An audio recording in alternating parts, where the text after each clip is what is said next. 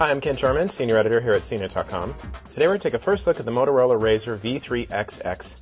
This is a new phone for Cingular, or you might call it AT&T service. Yes, we are talking about another Razr. You think after this long the company might not be pumping out more versions of the phone, but here another one is.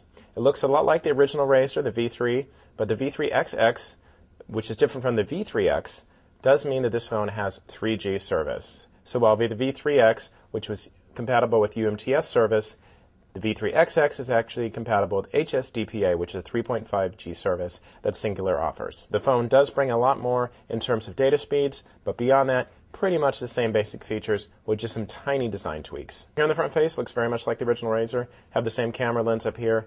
Again, no flash, no self-portrait mirror, but the actually external display does act like a viewfinder for self-portraits. It's pretty small like most on the Razrs, but it does show the daytime battery life, all that stuff you need. This phone still is branded as Cingular in a few locations right here, as you can see, but actually in some places it actually is now branded as AT&T. Cingular's in the middle of that name change, so we'll probably see that for a little bit. Open up the phone. Looks a lot like other Razrs. Has a pretty nice display, pretty big, pretty vibrant. Moving down, have the circular toggle. It is flat with the surface of the phone, along with the OK button in the middle. There's a little bit of texture here surrounding it, a little bit of a raised ridge.